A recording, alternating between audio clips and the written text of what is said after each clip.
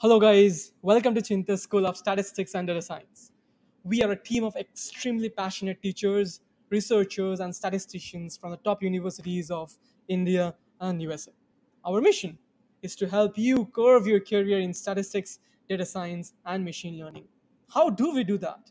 Number one, we help you build your foundations. We achieve that by making an optimized plan for your learning journey. Number two, we help you prepare and ace your entrance examinations in statistics and data science, like IIT JAM MS, ISI Stat, and CMI MSc Data Science. Number three, we give our absolute best to help you design your career by organizing workshops and certified data science courses. Modern after a certain time. This is you will not never find this in literature in any book. Okay, I have just like tried to make this up myself so that it help you. It helps you to understand there exists certain you know certain aim uh, such that for all n greater than equal to m, an is monotone. That means after a certain time it's monotone. That's interesting. So what happens if a sequence is not monotone? How can a sequence go towards a limit? It can either go like this. So this is this is the question I'm addressing today. How can a sequence go like this? It can go like this. It can go like this. This is not unbounded. It can go like this, I've shown. Right. It can also go like this. Still, it's monotone after a certain time. Understand? Blue is monotone after a certain time. Monotone after dot dot dot. Black is monotone. Of course, these are bounded because we are assuming it's uh, convergent. So of course, all of them are bounded. Okay, but after bounded, what happens? So bounded is the first criteria. Okay, after that, what happens? Then you check like monotone or bound. Now the final thing is that what happens? Uh, we already seen an example. Examples like this.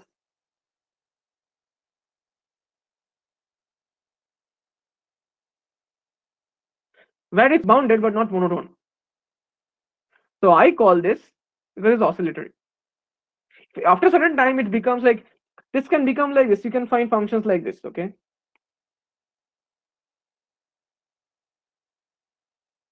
But this is monotone after a certain time.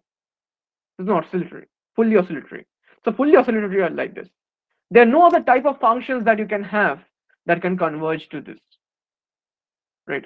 Either after a certain time, uh, the the sequence will be monotone after a certain time it will be like it will totally monotone after a certain time it will be monotone or it's not monotone that means what?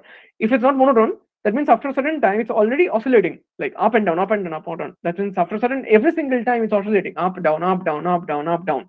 Like since it's monotone after a certain time that means it's oscillatory so therefore these three type of sequences are there that is very important that can converge. Okay? That can converge. If it's not bounded then of course it is either divided into so that's where the the picture comes up okay? So it's there's a sequence an so first we check bounded or not. If it's not bounded something happens but if it's bounded then we check if it's monotone or not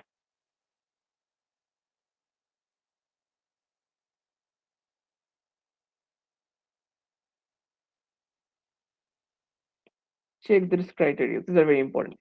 If it's monotone, when we understand it's convergent. If it's not monotone, then we check something else. Is it monotone after certain time?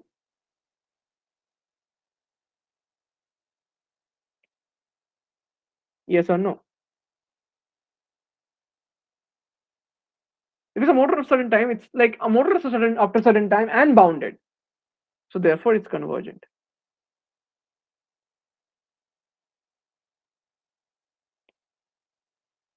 If it's not motor certain time, it's oscillatory.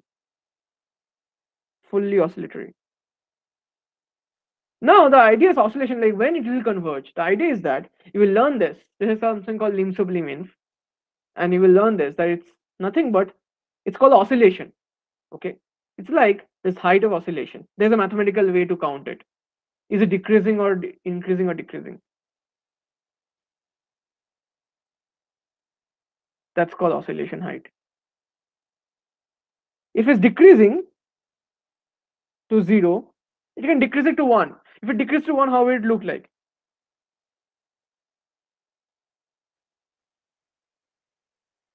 So this length is constant.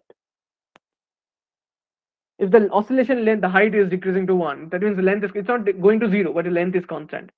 If it decreases 0, example you have found out, no. Um, also, an example of oscillation, minus 1 whole to the minus 1 whole to the power n by 1 by in, minus 1 whole to the power n. Like minus 1, 1, minus 1, 1, minus 1, 1. You can see the oscillation height is 2. It never goes to 0. Okay. It doesn't converge divergent. It's convergent here. So you can see that this is divergent. What happens if it's unbounded? If it's unbounded, it will either go to infinity, like let's say like infinity. Or it can be like it can go to infinity like this also. Going to infinity. It's going to infinity. See there it goes to infinity.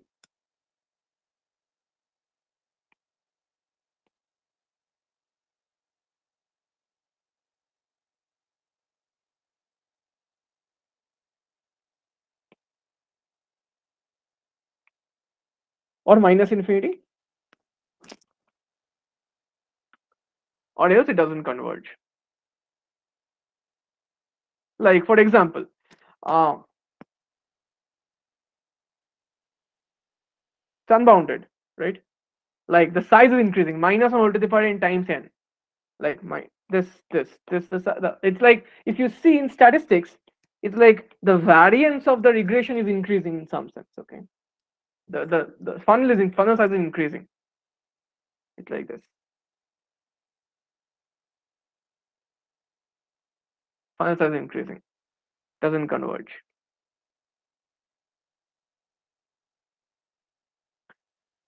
And this is interesting. We'll see that if uh, a sequence is divergent, if and only if 1 by n is going to 0. It's natural because it's going to infinity, that means 1 by that will go to 0. For example, n is going towards infinity, means 1 by n will go towards 0. So that's the basic idea. So therefore, if I say you, so therefore, you can say for any convergent sequence, this is one path, or this path, and then this path, and then this path, or then this path. So essentially, you can track back, like if it's convergent, which one is it. It gives a complete overview of what's happening in a sequence, right? To book a trial class for your preparation courses of IIT JAM MS, ISI MStat, and CMI MS Data Science, check out the first link in the description below. If you're enjoying the video, show some love by liking the video and subscribing to the channel. We welcome you again to this passionate community of budding statisticians and data scientists. Stay tuned and stay blessed.